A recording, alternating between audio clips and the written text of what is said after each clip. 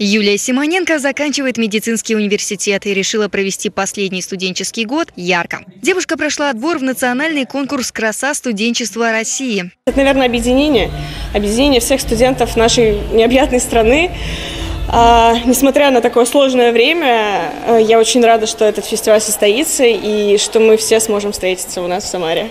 Для участия в конкурсе в Самару прибыли 56 студенток из 44 регионов страны. Сегодня они показывали творческие номера. На раскрытие творческого потенциала конкурсанткам дали не более двух минут.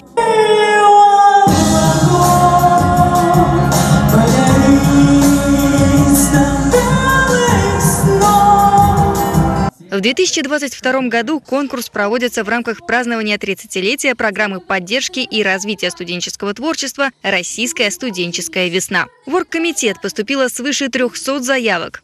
Победительница, она уже среди девушек, она уже обладает тем набором знаний, достижений, опыта. И самое главное, ей быть просто собой и дать нам возможность, членам жюри, по достоинству оценить ее увидеть эту победительницу. Помогают организаторам конкурса более 150 волонтеров, которые также проходят кастинг и приезжают в Самару из разных уголков России. Они все прошли обучение, очень много функционала.